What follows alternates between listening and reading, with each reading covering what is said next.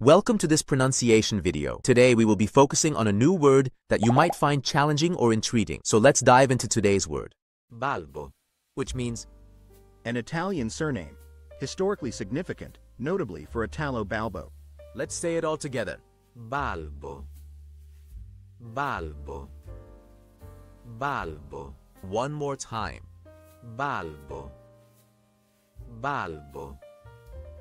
Balbo. Thank you for joining us on this adventure in pronunciation. Remember, language is a journey, not a destination. Keep exploring, experimenting, and expanding your linguistic horizons. We'll see you next time.